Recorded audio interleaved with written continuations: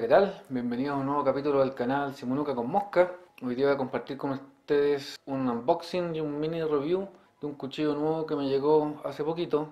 Es de la serie Sage de Spyderco y como ejemplo aquí tengo el Sage One, que es el único de la serie que tengo y ahora se está incorporando uno nuevo. En la serie son 5, es decir, tenemos del Sage 1, que es este, hasta el Sage 5 y el cuchillo que me llegó hace poquito es el Sage 3 es de fibra de, carbono. Acero S30B y como todos los cuchillos de la serie Sage de Spyderco tiene un sistema de bloqueo de la hoja en un folder. Y en este caso todos son distintos. Este sistema de bloqueo es liner lock este sistema de bloqueo es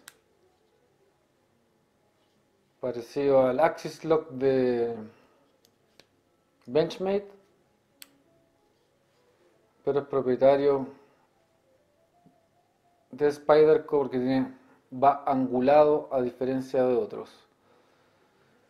Como les expliqué hace un ratito las características técnicas del cuchillo es un acero CPM S30B la hoja es full flat grind, como pueden ver. Viene de fábrica bastante afilado. Y al igual que la serie Sage y el Sage 1, tiene un pocket clip tipo alambre, con la diferencia de que el del Sage 1 es negro y el del Sage 3 es metálico, no está oscurecido. Al igual que el Sage 1, es de fibra de carbono, con la diferencia que el Sage 1 tiene liners de acero, el Sage 3 es completamente, como pueden ver, de fibra de carbono y además tiene un patrón distinto en la cacha. Pero el resto, el tamaño de la hoja, la forma de la hoja es igual. Es muy probable que de los 5 cuchillos que hay en la serie Sage de Spyderco solamente tenga 3 el 1, el 3 y el 5. El 2 es con cacha de titanio y es frame lock, que es muy similar al liner lock con la diferencia que todo el frame de la cacha bloquea la hoja.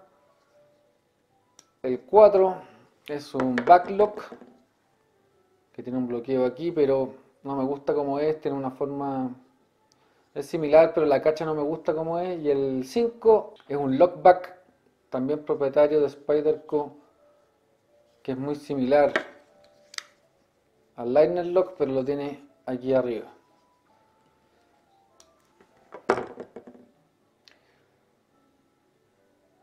Bueno eso es no hay mucho más que hablar. Obviamente es un cuchillo de bolsillo para andar para andar trayendo todos los días. Lo voy a agregar a mi rotación de cuchillos a la colección. Normalmente yo los uso una semana sin embargo es muy probable que este por ser nuevo lo use dos semanas seguidas. No tiene movimiento de la hoja como los Sage, tampoco ni de lado a lado ni de arriba abajo. El bloqueo es muy bueno. Es suave.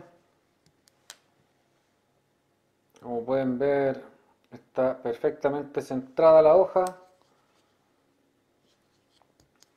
Y se despliega con el famoso spider hole